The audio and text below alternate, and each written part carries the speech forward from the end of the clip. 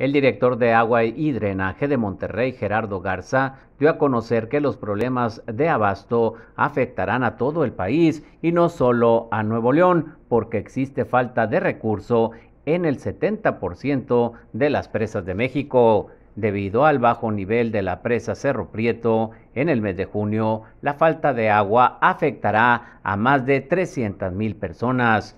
El funcionario dijo que los cortes se llevarán a cabo de acuerdo a una rotación programada.